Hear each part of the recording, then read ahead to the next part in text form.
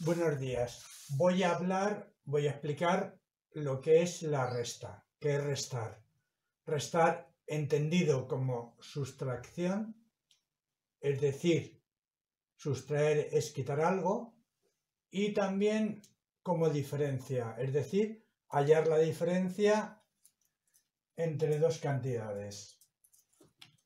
Bien, aquí tenemos los números expresados en forma de casilla desde el 1 hasta el 20. Siempre que ponemos números, 1, 2, 3, 4, 5, 6, nos referimos a objetos, a algo. Y entonces hablamos de un libro, dos caramelos, tres manzanas, cuatro cuadernos, cinco lapiceros. Eh, son números que los números expresan cantidades de algo. Bien. Eh, con esos números se pueden hacer distintas operaciones. Operaciones son acciones, algo que se hace. La operación básica más la primera es sumar, que es juntar y añadir cosas. La siguiente operación es restar, que es quitar cosas, ver la diferencia que hay entre dos cantidades, etc. Hoy voy a hablar de eso, de la resta, lo que, lo que es la operación de sustraer, quitar, hallar la diferencia.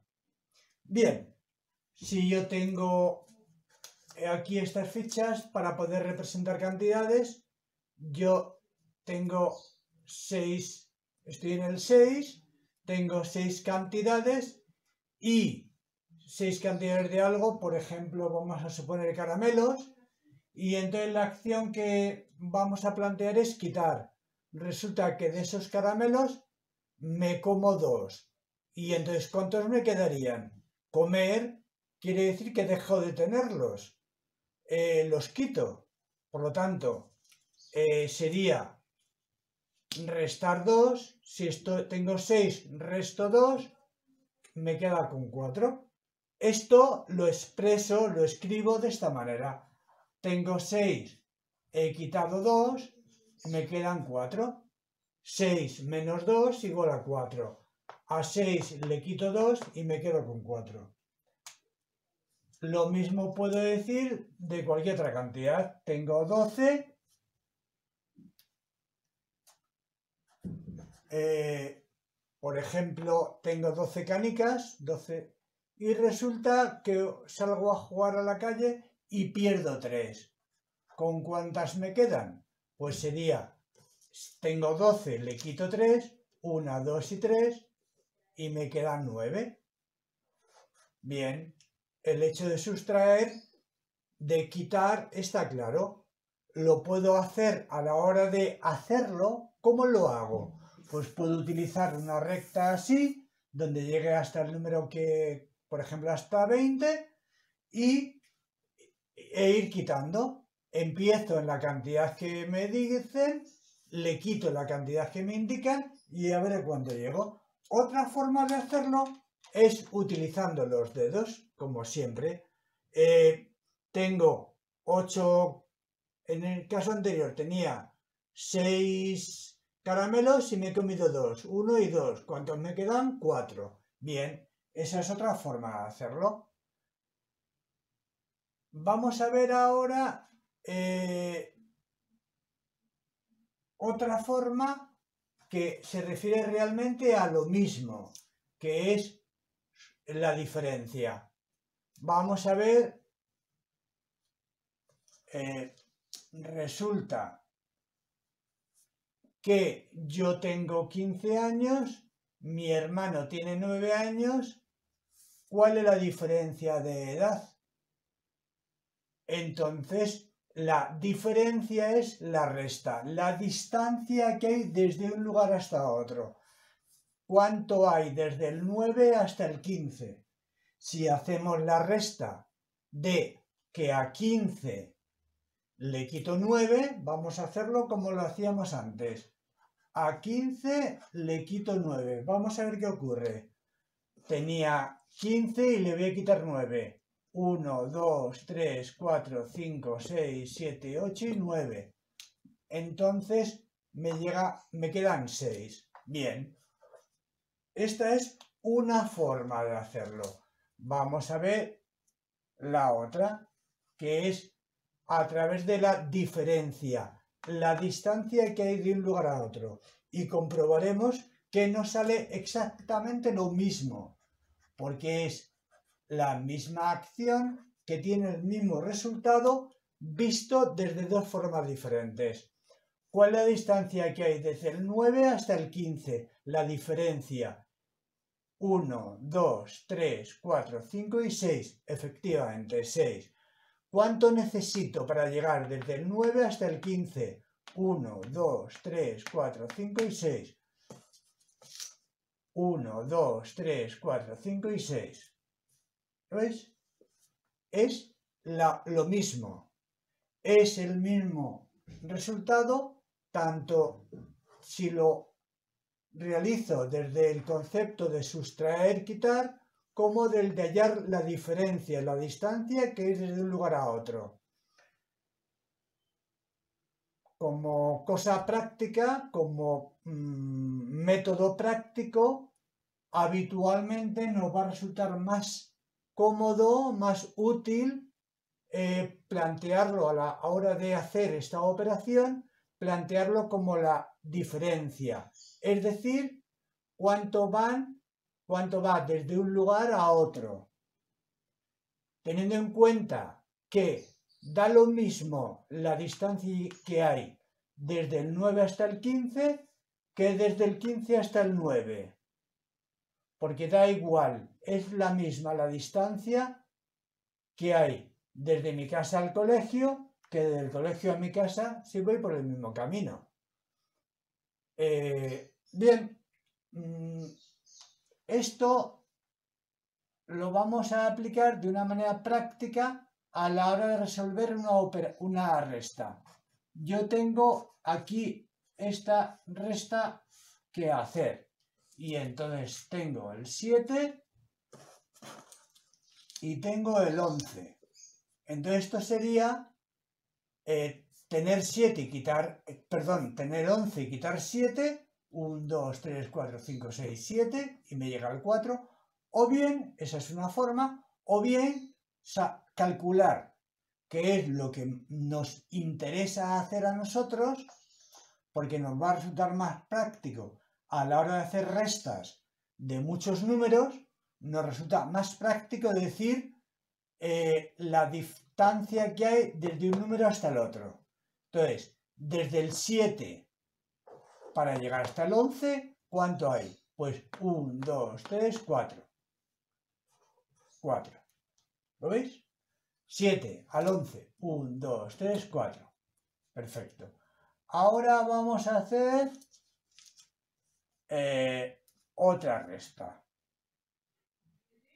16, 15 menos 8, que esto es la distancia que hay desde el 8 para llegar hasta el 15.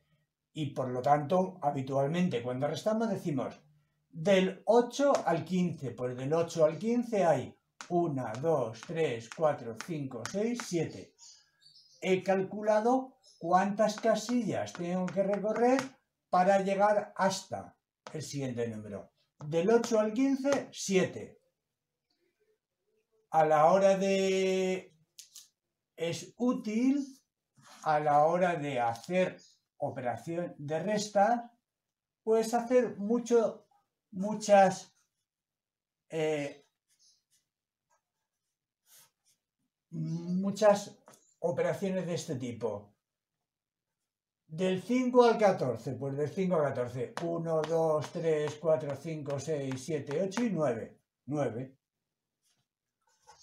Bien. 14 menos 5, 9. Si estoy en el 14 y me quitan 5, 1, 2, 3, 4 y 5. ¿Veis que llego al 9? Lo mismo. Da igual. Entonces, ¿qué tengo que hacer para practicar las restas? Pues lo que he hecho hasta ahora, que es plantearme eh, hacer una, dibujar una recta con nueve casillas, perdón, con 20 casillas, coger dos fichas y, e ir escribiendo la distancia que hay desde un número a otro. ¿Qué va a ocurrir? Que llega un momento en que de tanto repetir esto, pues yo ya sé hacerlo mentalmente. Ya no necesito eh, contarlo, sino que a fuerza de repetirlo, pues yo ya sé que, por ejemplo, desde el 7 hasta el 12 van 5, o que desde el 8 al 16 van 8. ¿Por cómo lo sé? Pues a, base de repetirlo y repetirlo, y luego siempre hay algunos truquillos que podemos utilizar que cada uno va empleando para acordarse de cuál es la distancia de una cantidad a otra.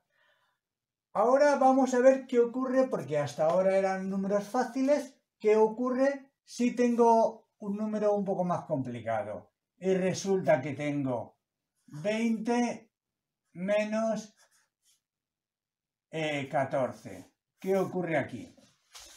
Eh, ya no digo del 4 al 20, ni si dijese del 14 al 20 lo podría hacer, porque aquí lo tengo, del 14 al 20 van 1, 2, 3, 4, 5 y 6. Ya sé que van 6, pero vamos a ver cómo se hace eh, para poderlo utilizar con números mayores. Bien, pues entonces lo que hacemos es, eh, primero, nos ocupamos del número de la derecha, que son las unidades, y luego nos ocupamos del número siguiente, que son las decenas. Bien, y entonces yo digo, del 4 al 0, pero del 4 al 0 yo no puedo hacerlo no, va, no puedo ir, si yo empiezo a contar desde el 4, nunca voy a llegar a 0. Entonces, ¿qué es lo que hago? Pues lo que hago es, aquí pongo una decena, es decir, del 4 al 10. Pero claro, ahora este número es diferente. Si yo cambio el número de arriba, también tengo que cambiar el número de abajo para que me salga la misma para que siga siendo la misma diferencia. Y entonces, ¿qué es lo que hago? Si aquí he añadido 10, aquí añado 10 también. ¿Y dónde lo añado? En las decenas. ¿Por qué lo añado en las decenas? Porque me resulta más práctico. ¿Yo puedo hacerlo y está bien? Sí. ¿Por qué lo hago así y no de otra forma? Pues porque esto me va a ayudar a hacer la resta. Vamos a comprobarlo. Y digo, del 4 al 10, 6. Y aquí puedo decir, me llevo una, no es que me lleve nada, pero por acordarme. Una y una de antes, dos. Del 2 al 2, 0. ¿Cuántos van del 14 al 20? Pues 6, como hemos comprobado antes. Vamos a verlo con una resta un poco más complicada. 52 menos 19, eh, por ejemplo. Ahora aquí ya no tengo esa, esas números, no lo puedo hacer contándolo. Lo podría ir contando de memoria. Empiezo a contar desde el 19, voy contando cuánto hasta llegar al 52 y ya está. Pero así tardaría mucho. Vamos a utilizar lo mismo que hemos hecho aquí, lo vamos a utilizar aquí. Primero las unidades y luego las decenas. Empezamos desde el 9 al 2. No puedo. Si yo empiezo a contar desde el 9, nunca voy a llegar al 2. ¿Qué hago? Añado 10 al número de arriba y 10 al número de abajo. Pongo 1 y 1. Entonces, ahora ya sí, del 9 al 12. De 9 al 12 van 1, 2, 3. Este 1 ya le he puesto aquí es lo que decimos habitualmente que me llevo. Esta es la que aquí que ya está llevada. Una más una, dos.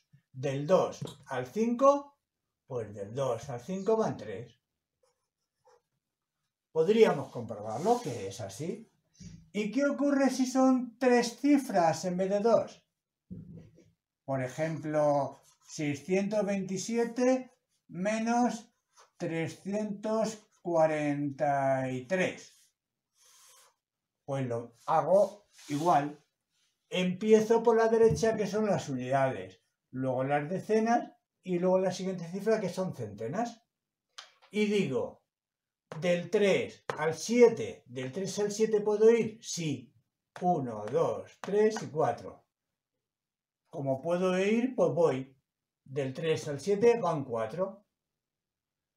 Paso a la siguiente, del 4 al 2. Si empiezo desde el 4 nunca voy a llegar al 2. Por lo tanto, eh, ¿qué tengo que hacer? Pues decir al 12, pero claro, si he añadido 10 aquí, añado 10 aquí. Del 4 al 12, 8. 4, 1, 2, 3, 4, 5, 6, 7 y 8, efectivamente. 3 y 1, 4. Al 6, pues del 4 al 6 van 2. Fácil. Vamos a ver otro ejemplo. 708 menos 139. Bien, pues nos encontramos con la misma situación. Empezamos por la derecha, por las unidades, decenas, centenas, y empezamos. Del 9 al 8, si yo empiezo a contar desde el 9, sigo contando, nunca voy a llegar a 8. ¿Qué hago? Pues pongo, añado 10. Si añado 10 aquí, 10 aquí.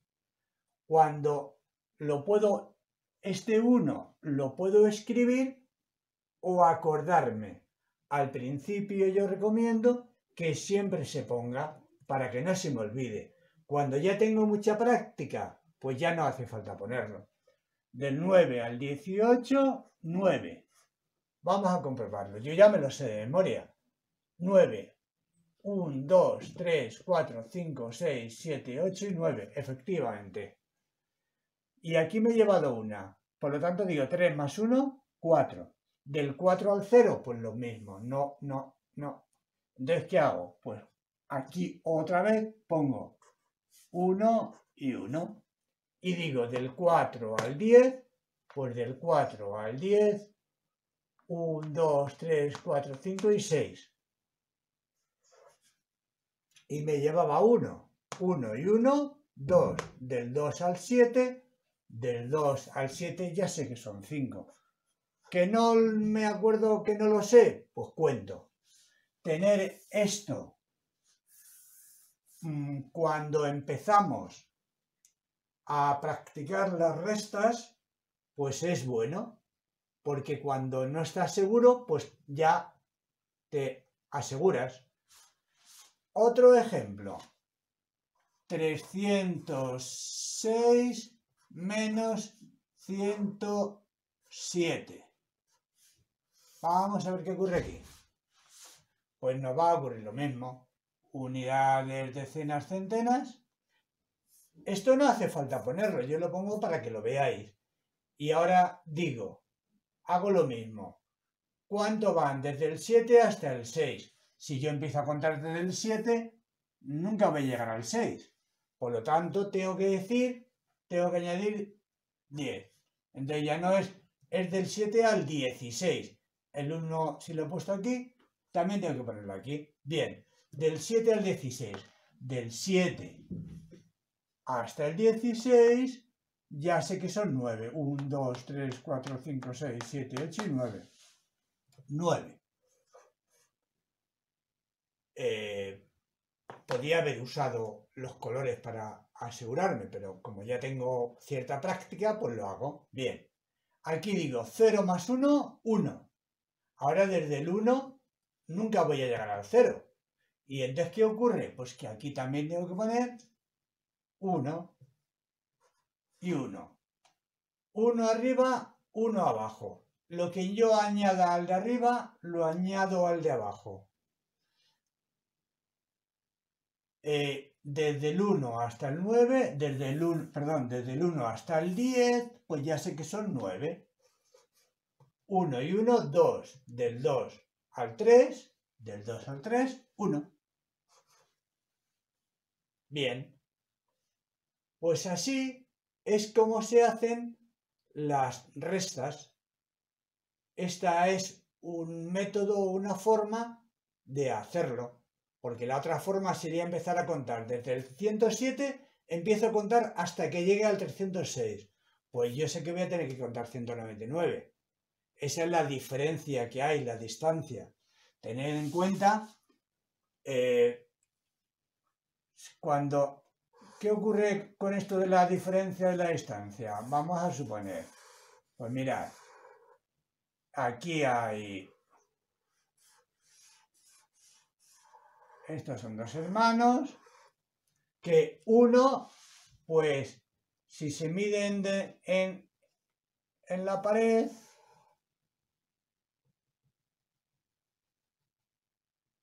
¿qué ocurre?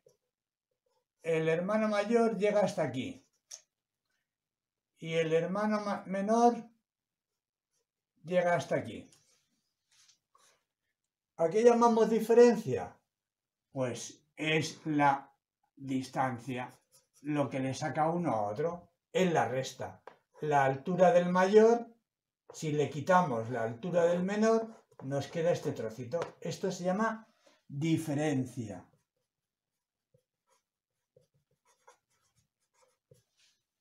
Bien, supongamos que al hermano mayor le, ah, perdón, al hermano menor le pongo ahora, le digo que se suba a este taburete. ¿Qué va a ocurrir? Que el hermano más, eh, más pequeño ahora va a llegar hasta aquí.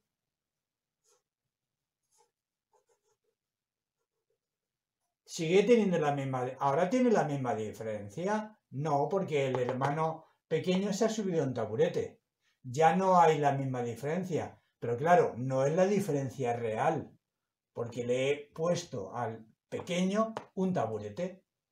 Para comprobar la diferencia real que existe entre ellos, si, a este, si al hermano pequeño le he subido un taburete, para poder conservar la diferencia real, ¿qué tengo que hacer? Pues hacer que el hermano mayor se suba a un taburete que sea igual. Si los dos se suben al mismo taburete, la diferencia va a ser la misma. Vamos a, va a seguir siendo la misma diferencia es la misma resta, tanto si están en el suelo, los dos hermanos tienen la misma diferencia de estatura, tanto si están en el suelo como si los dos se suben a un taburete. Es lo que hacemos aquí, que al número de arriba le añadimos 10, porque aquí tenía 2 y ya tengo 12, y al de abajo le añado también 10. Porque si yo pongo un 1 donde las decenas, estoy dando 10. Es la misma diferencia. Lo que pongo al de arriba lo tengo que poner al de abajo. Lo que pongo al de arriba lo tengo que poner al de abajo. ¿Para qué? Para mantener la misma diferencia. Y así es como se hacen las restas, lo que llamamos las restas llevando. Se, se llaman así vulgarmente, popularmente, pues porque se dice me llevo. Eh, voy a hacerlo por última vez. O sea, la última explicación.